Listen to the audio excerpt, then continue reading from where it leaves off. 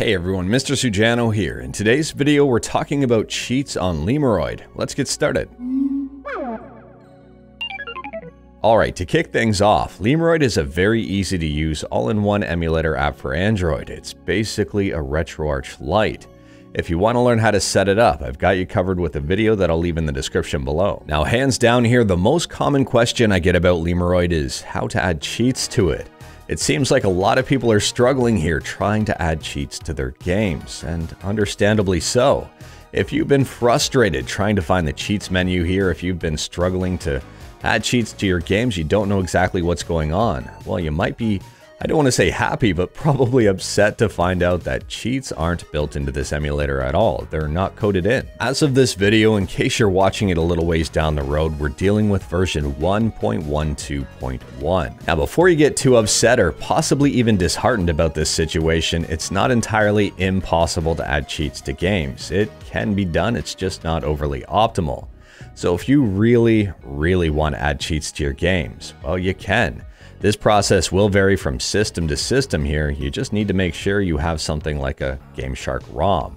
You boot that up, enter your GameShark codes, which you can pick up from Google, and you're probably off to the races. Now, for those of you wondering when it's going to be officially built into Lemuroid, we have some good news and some bad news.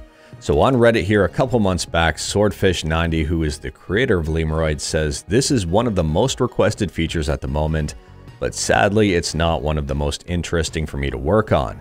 I'm not saying this won't be happening in the future, but it's not a priority for me.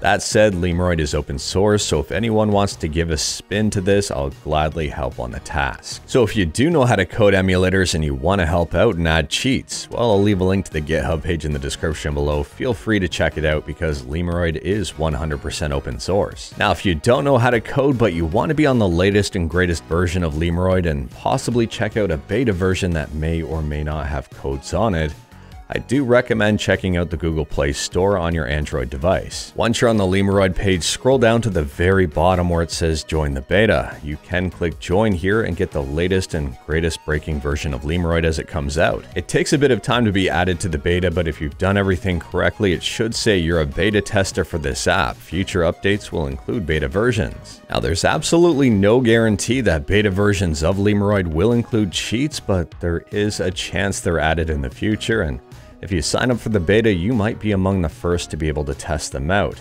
On top of that, Lemuroid hasn't really been updated in a while. The latest update was back in September. But anyways, that is all I've got for this video. Short, sweet, and to the point. All stuff and no fluff.